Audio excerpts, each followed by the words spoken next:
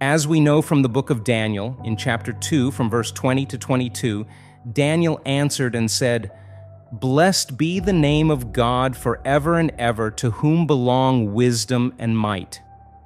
He changes times and seasons. He removes kings and sets up kings.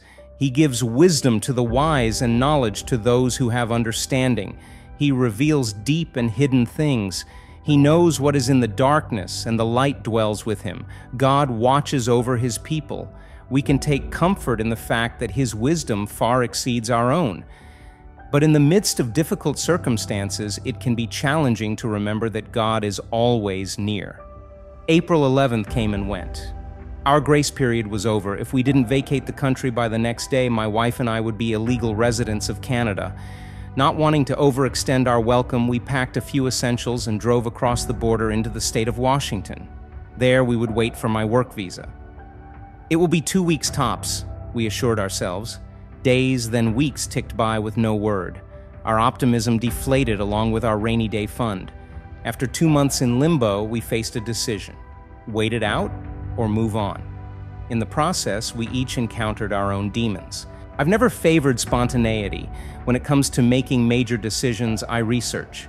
I arm myself with lists of pros and cons. Flexibility must be served with a selection of practical options. As the plans that had seemed definite eroded alongside my sense of control, worry became my constant companion. Rather than find comfort in Jesus' words from Matthew chapter 6 verse 25 to 27, I felt chastised. In those verses, Jesus said, Therefore I tell you, do not be anxious about your life, what you will eat or what you will drink. Look at the birds of the air. They neither sow nor reap nor gather into barns, and yet our heavenly Father feeds them. Are you not of more value than they? Which of you, by being anxious, can add a single hour to his span of life? That's great and all, I thought, but what does God's provision actually look like? It can sometimes be difficult to see prayer and trust in God as viable solutions.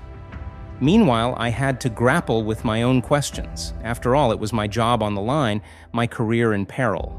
My confidence in God's plan was giving way to uncertainty. What if I'm misinterpreting God's direction? Does creating a backup plan and exploring options mean my faith is faltering? How long is long enough? Our individual anxieties isolated us and set us on separate paths on this journey we were stuck on, mine one of waiting, hers one of worrying.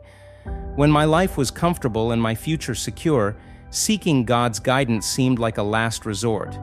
Even His Word felt like a backup plan. Now, with all that security gone, it was difficult for me to grasp that we were relying on such abstract ideas for answers. As each day passed, our waiting on God's guidance dragged us closer to complete dependence on His provision.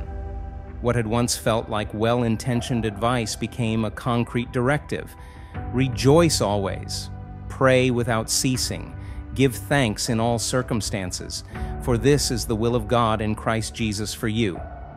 The words of 1 Thessalonians 5, verse 11, also came to us as a stern reprimand. Therefore, encourage one another and build one another up, just as you are doing. God's Word doesn't allow for struggling in isolation. He calls us to rely on each other and, most importantly, to depend on Him. Taking these words to heart became our balm in this ordeal. When despair threatened to overwhelm, we tackled it with words of encouragement. In the process, we gained opportunities to uncover insecurities and affirm each other's strengths. As we wrestled with the tough questions, we caught glimpses of each other's doubts and convictions. Together, we accepted the reality of walking in God's will and relying on Him to provide. To our delight, God met us in our surrender, surpassing our expectations with provision through friends and strangers who also took these words seriously, lending resources and support to a couple of humbled Christians. Trusting in the unseen can be a lesson in humility. Waiting patiently for the Lord can seem like inaction, but we can trust in our God who inclined to me and heard my cry and set my feet upon a rock, making my steps secure. Psalm 40, verse 1 and 2. May you thrive in the security of God's guidance and provision.